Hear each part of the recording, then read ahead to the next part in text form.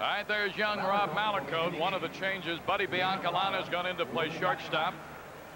Well, here is what Mallicoat did at Columbus. He was impressive, earned an elevation to Tucson right at the end of the minor league season. He's a highly regarded young lefty. Got a real good arm.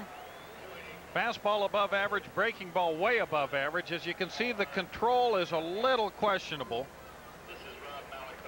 But you figure that he will be able to get that in command in the next couple of years. He's only 22 years old.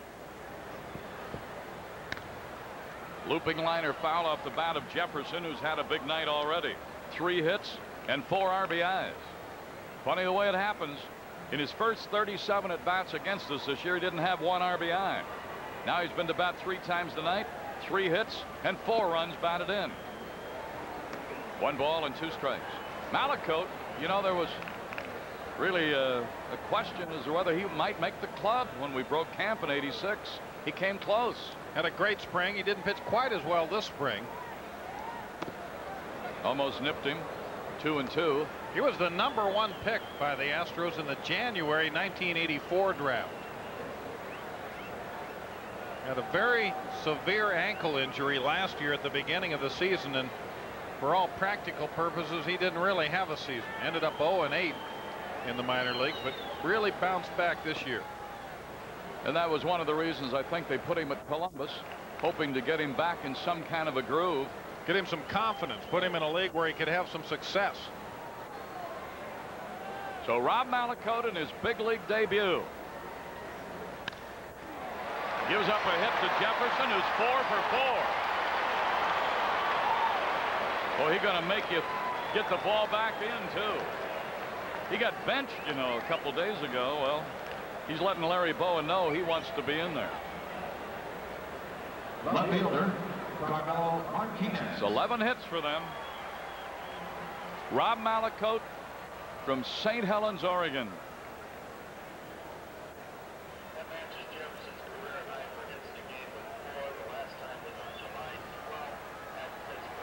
Ties his career high with four hits in a game.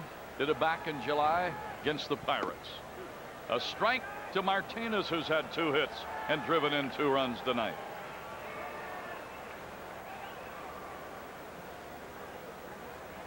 Runner at first. Carmelo Martinez. A ball and a strike.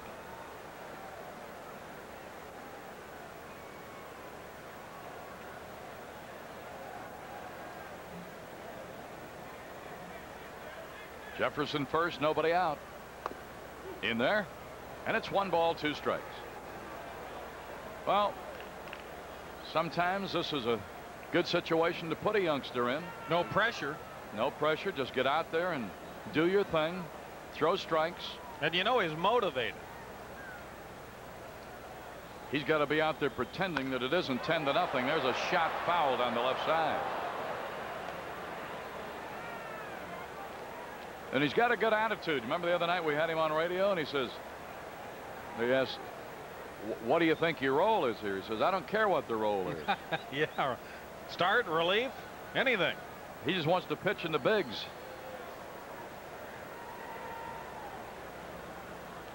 A ball and two strikes. Now it's two and two to Martinez. John Kruk is due up next. Padres have scored in each of the first four innings and lead 10 to nothing. Trying to take a two game edge here.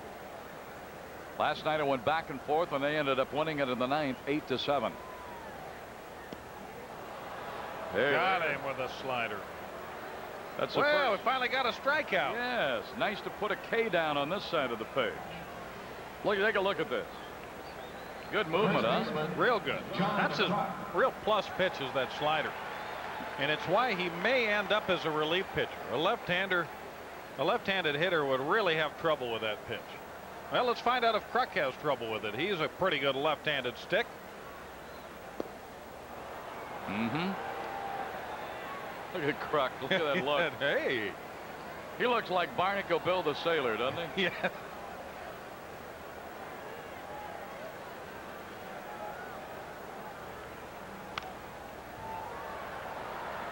Foul back. He's got him in a hole 0-2. Mallicoat, our third pitcher, following Scott, who just simply didn't have it. No other way to put it. Then Hernandez. He didn't have it either.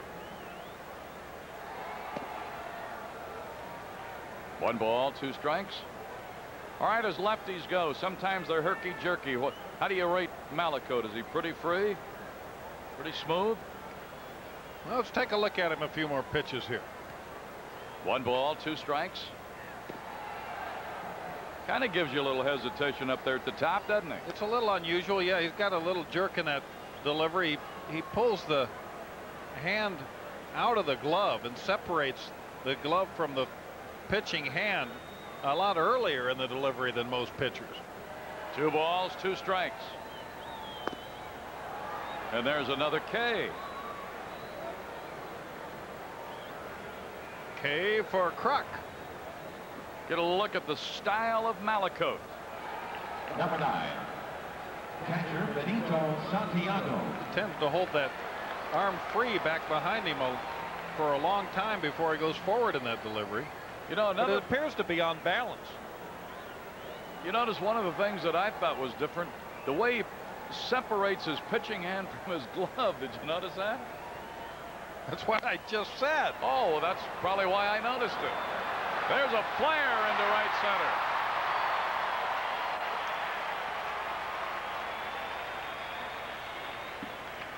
So Santiago, who came in with a 15 game hitting streak, now's had a double, two RBIs, and a single. Number 35, third baseman Chris Brown. Oh, he went down and got it, didn't he? He got it. He didn't get all of it. Gotten a little more of it. He'd been out. So now here is Chris Brown. He's 0 for 1. He's walked twice.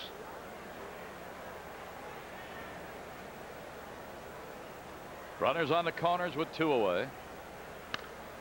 Fouled up to the right side. Jefferson with his fourth hit of the night is now at third. Santiago with his second hit is at first. They have 12 hits along with six walks. The rule has been that there's a lot of Padres on base. We're only in the fifth inning.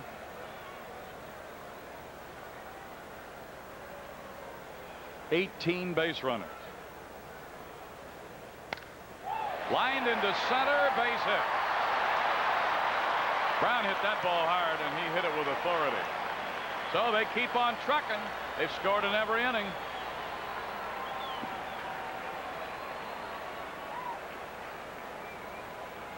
Shortstop, Gary Templeton. One thing that you can say about Mallicoat's pitching in this inning, everything has been hard. He hasn't shown him any off-speed stuff. So a right-handed hitter that knows the breaking ball is breaking into him and the fastball is going to be fast can really start that bat. He doesn't have to wait for anything. Broken bat bouncer. Davis has got to flip it to Mallicoat and they get Templeton and the side has been retired. But they get another run on three hits. Weren't any errors. Two men are left. So we have played through five. And the Padres putting it on here. They lead the Astros 11 to nothing. All good horse traders know horses. The best ones know cowboys too. He needs a little work, but the price is firm. He's worth it, but I'm a little short. Just pay me half now, and if I don't hear from you, I, he knows the way home. Head for the beer brewed natural as a mountain stream. head for the mountains of Busch beer. On the one hand, U.S. Sprint's long-distance digital fiber optic network is so quiet you can actually hear a pin drop. On the other hand, it's so efficient you'll get the best overall savings, which is pretty miraculous. Call U.S. Sprint and find out how you can get the best for less.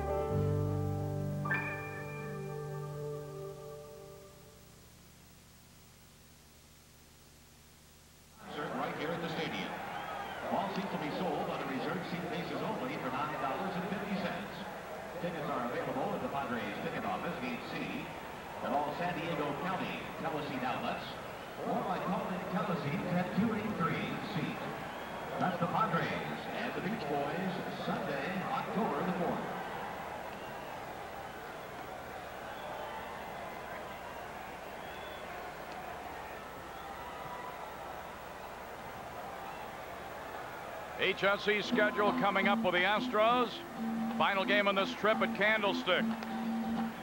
Then when we get home with the Padres and then at Cincinnati. That's coming up on Home Sports Entertainment with the Houston Astros. Hey, the vendors are swinging.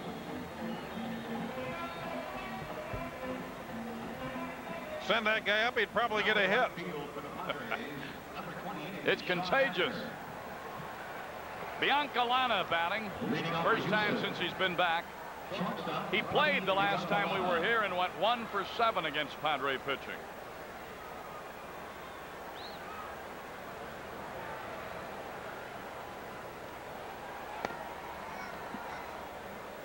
Biancalana batting in the ninth spot. They made the double switch. You remember when they brought Mallicoat on? He's had one hit and 17 at bats. One ball, one strike.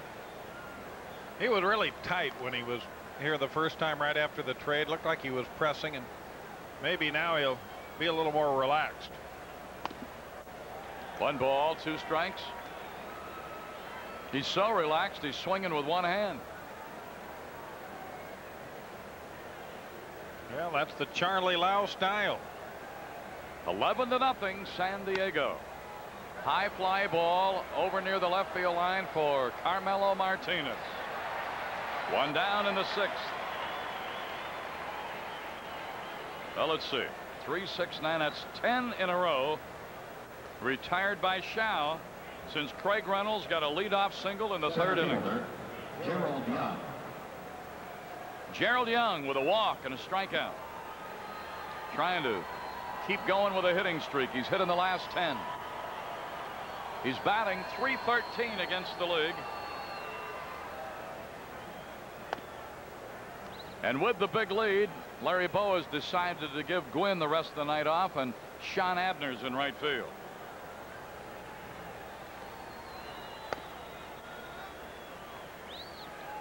Abner, you remember last night, played left. There is Abner. Well, I don't think Gwynn will need to play the rest of this game to get his 200 hits this year.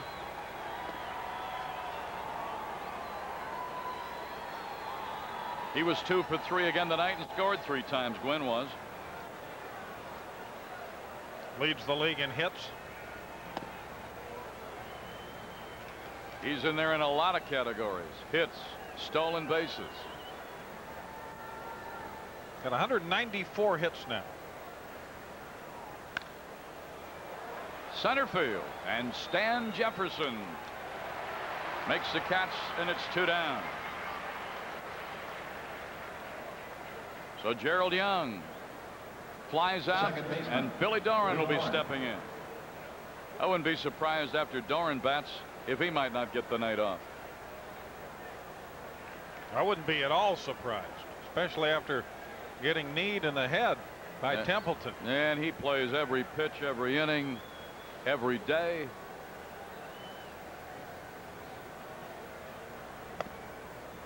There's not much Billy Doran can do about bringing a club back from 11 down the way Show is pitching and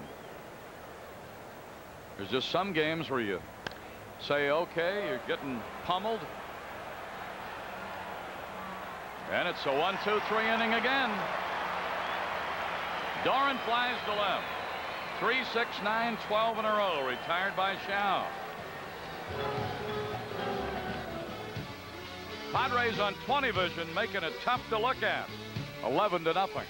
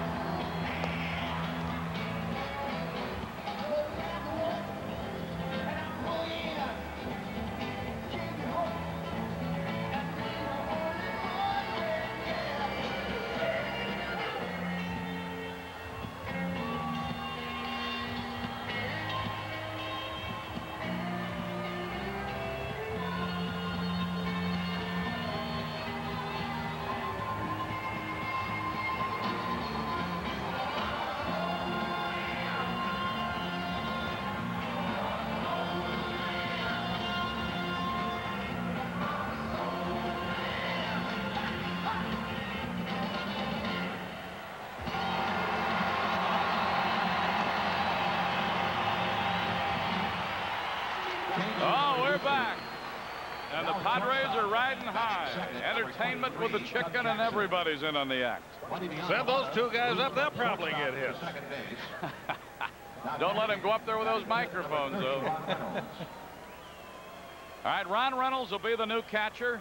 Leading off for the Padres, second baseman Tim Flannery. Buddy Biancalana moves to second. Chuck Jackson will be at short. When Biancalana went down to Tucson, he played some second base, so Jackson and Biancalana would be in the same situation they were in the latter stages of that AAA season.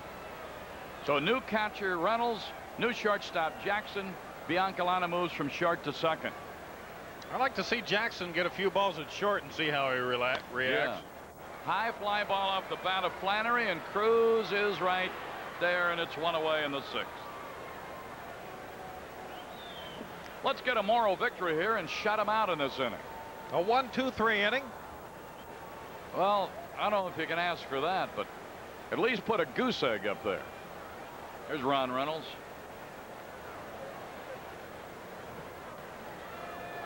Show coming out now. Number 30, pitcher Eric Show.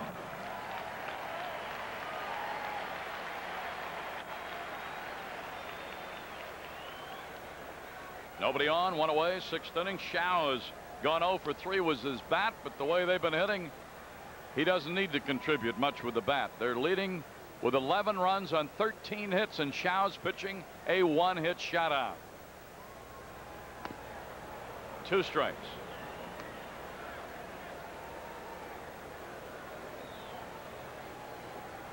Abner's due up next.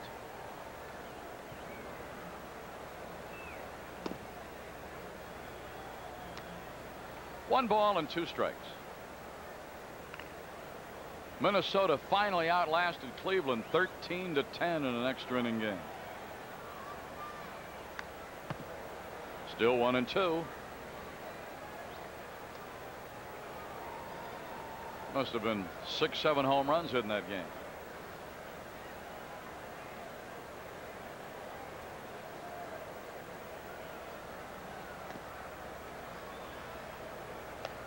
That just a natural tail, or you're not Like turning sinking it over. I don't know. Two balls, two strikes.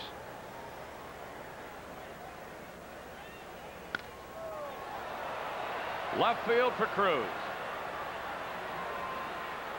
Two down in the Padres sixth.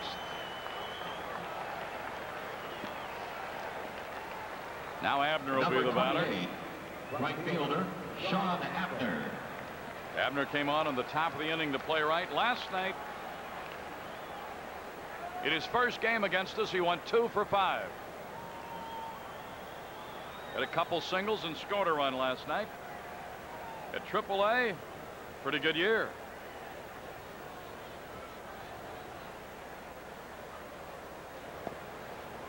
One ball and no strikes to Abner. Jefferson's on deck. He's probably hoping Abner will get on. When you're four for four, you can't wait to have another swing. Left field, and Cruz is going to tie a record held by many. Three fly balls to left in a one, two, three inning, and finally, they found the formula. They didn't let the Padres score in the sixth. So, that's the story of it, lopsided as it is. Milo Hamilton and Larry Dierker. I'll give way to Bill Brown. He'll come along on 20 Vision with the Astros trailing 11 to nothing. When the sun goes down, gonna light up the night. Silver label, red ribbon, a taste that's right. Gonna light up the night.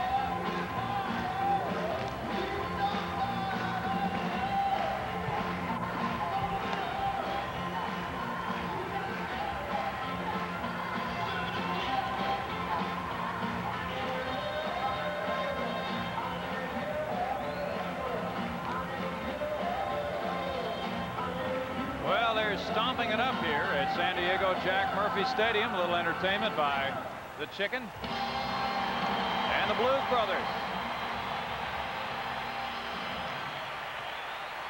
And celebrate they should with an 11 to nothing lead through six innings of play. We have a couple of changes for the Padres. Stan Jefferson has moved from center to left field, and Shane Mack goes in to play center. So Martinez leaves the ball game. Number 17, right fielder Kevin Bass. And the Astros, who have gone down 12 in a row now, try to get hit number two in this inning and get around to score. Kevin Bass is 0 for 2. Popped to third and line to third, where Chris Brown made a nice play on him.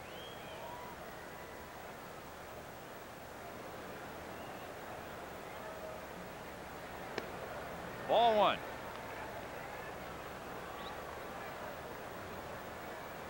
Quite a comeback by the Cardinals tonight. They won it in 10, 6-4 over the Mets. That was almost a desperation comeback after being swept by the Expos. You're right. It might have been a real character builder for Whitey Herzog's club. Might get them turned around. They got too much talent to just keep losing the way they've been. That's true. And without Jack Clark this weekend, you know they feel that they got a lift. Strawberry and Mookie Wilson home runs for the Mets. Terry Pendleton one for the Cardinals. Strike one and two. Still very much undecided as far as the National League East picture. Montreal hurt by the loss today to Chicago, but plenty of games remaining. There are no races decided yet. No, sir. This one in the West is the biggest lead, four games now. There's the line shot. Kevin Bass has hit number two for the Astros. That was a two-out, two-run homer by Pendleton in the ninth. And then Tommy Herr with an RBI Number single 27. won it in the 10th. Glenn Davis, first base. That breaks the string of 12 in a row, retired by Show. And Davis, who has struck out twice now to the plate.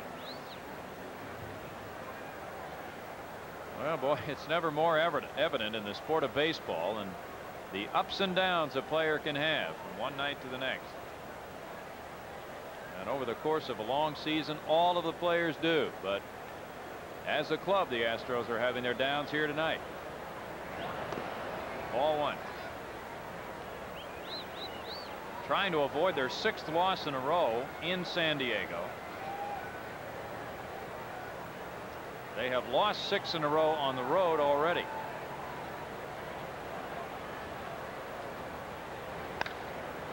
Davis to right field. And back is Abner. For the catch, one out.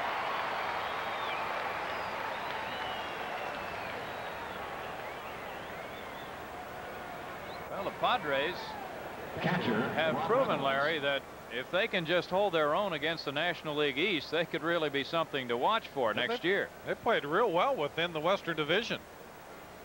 They certainly have, and they scored 15 runs in a game against Cincinnati, scoring 11 so far tonight.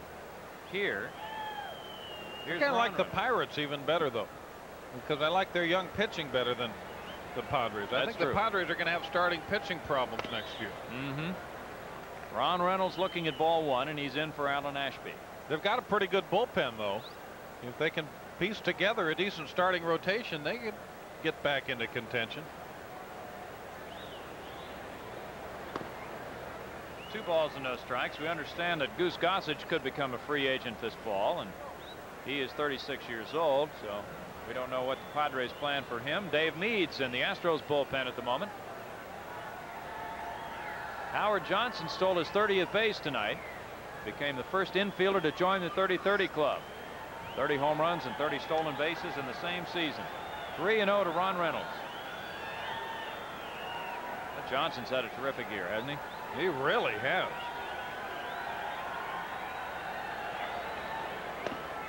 That's haven't missed Ray Knight at all. Three and one to count. Nope. That proved to be a rather interesting situation for the Mets. Who had offered Knight a contract, but not what he wanted. Offered him a pretty good contract. There's a diving stop by Chris Brown who throws from his knees safe at second. Terrific effort by Brown. But Bass beat the play. But do you think he could have had him at first? Probably. Well, you kind of wonder in a game like this why you don't just go for the easiest out. Good point. Fielder, Jose Cruz. Going to be a base hit for Ron Reynolds.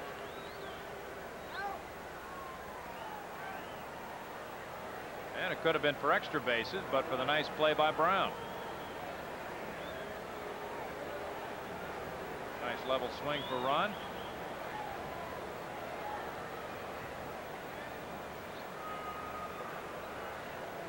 Safe at second. Jose Cruz 0 for 1 with a walk. Ball one. That one getting away from Show. The Padres have seven shutouts this year. They have been shut out 14 times.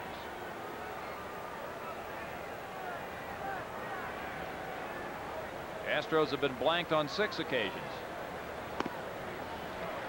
One and one.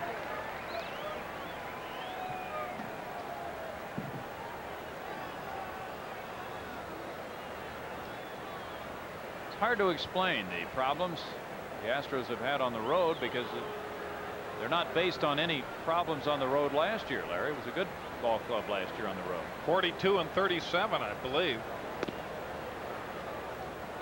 Two and one. You look at it statistically, and the club has scored about the same average number of runs per game at home and on the road, but given up significantly more on the road. Out of play, two balls and two strikes, and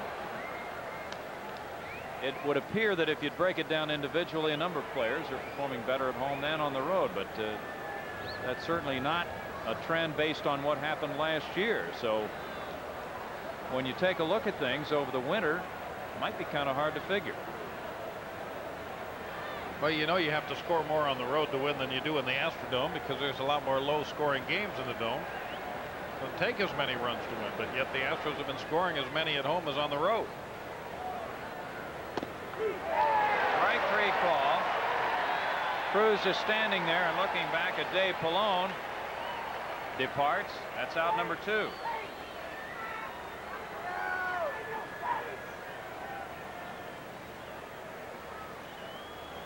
Yes, you should swing at that with two strikes, although it looked like it was probably a little low. Strikeout number five for Show. Here's Caminiti now with two outs. Bounced into a double play and popped out to second.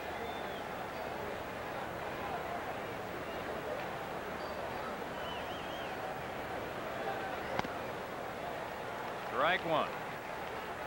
Show in his last five outings, three losses, two no decisions. His longest outing was eight innings in a game against Montreal. Gave up five hits and three runs, so he pitched fairly well on that occasion. His top strikeout game is eight.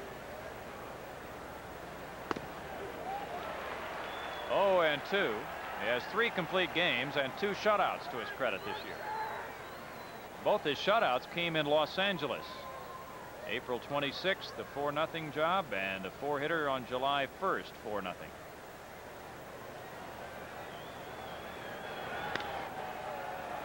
Soft pop. Flannery backpedaling, hauls it in to retire the side. No runs, two hits. No errors, two left. Through six and a half. It's 11 to nothing Padres.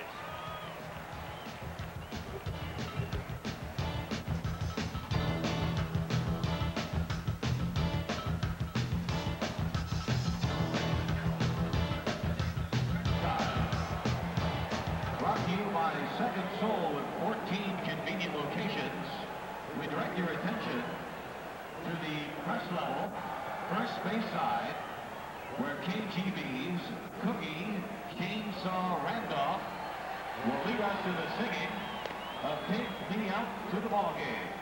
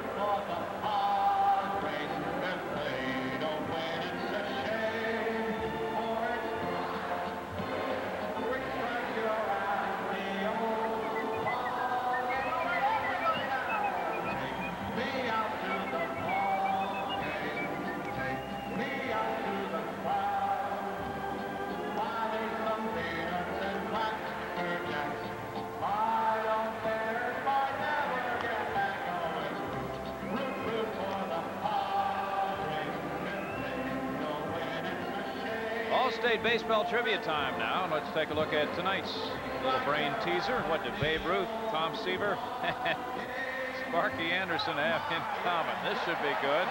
Ah, their first names. George. Hey, that's a good one. Now, when the Reds of the mid-70s had uh, several players named George, among them uh, George Thomas Seaver. That used to be a trivia question you'd hear because uh, Kenneth Griffey's first name was George also, and a lot of people weren't aware of that. 11 to nothing right here. A lot of people are aware that the Padres are having one of their best nights of the season. And Rob Mallicoat dealing to Stan Jefferson with ball one. Jefferson with a personal night to remember. Four base hits, three runs scored, and four driven in.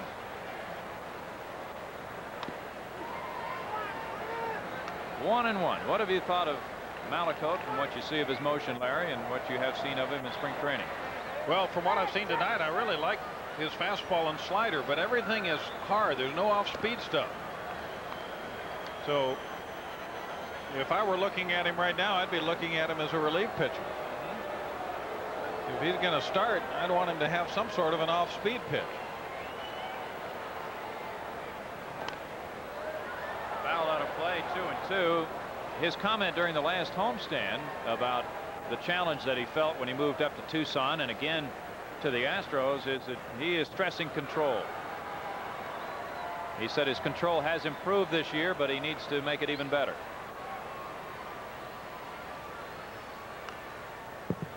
Foul, two balls and two strikes.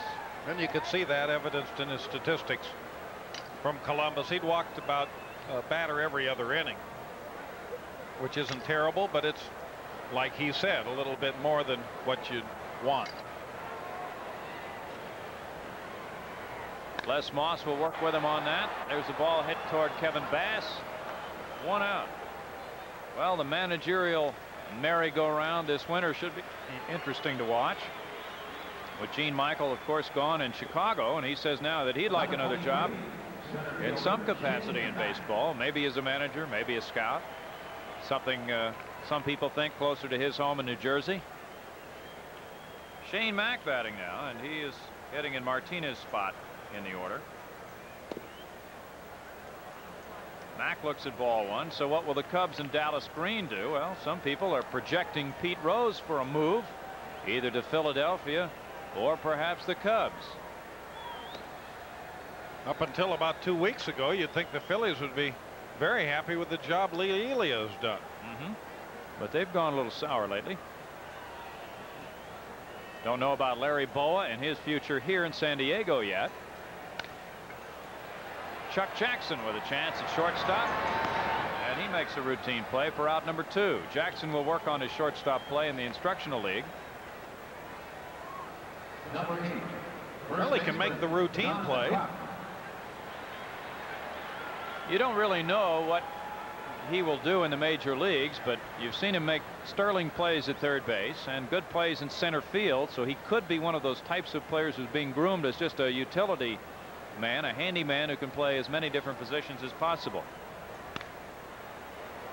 Biancalana at second gets Kruk. And the second straight one, two, three innings, seven straight retired by Mallicoat in his major league debut.